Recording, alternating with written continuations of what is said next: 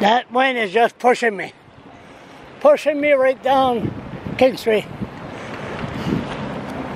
I gotta keep this camera on. Thought this road was closed.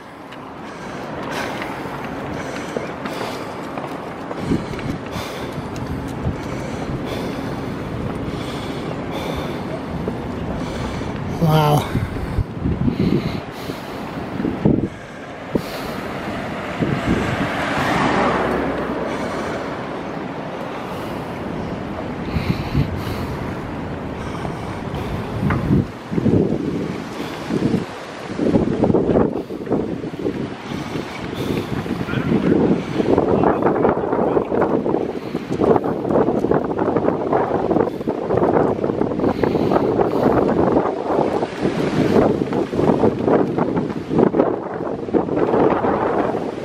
Oh, Jesus.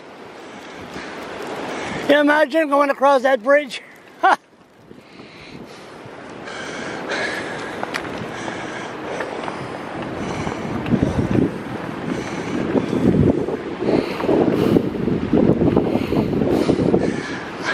I hear Queen Street might be flooded by Monday.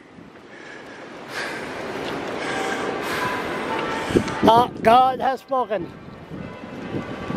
Oh my God, this is way up.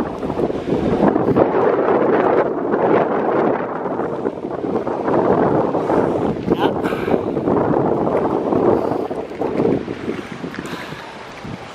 Why don't you start walking in there? I'll do a film. How you doing? If you want to see something, go to Carlton Park. Carlton Park? I guess the waves the waves are just hitting right hard On the other side? on the other side. That's where I'm going with this camera. I got the video on there. I'm just going up and across that bridge is going to be one. Windy. What? Look! Look! Look in the middle there. Yeah, it's crazy. No, go to Carlton Park. You'll uh, you'll see something you've never seen That's on the other side? on the other side, right across from uh, Dixie Lee, Oh, yeah, okay. right across from there.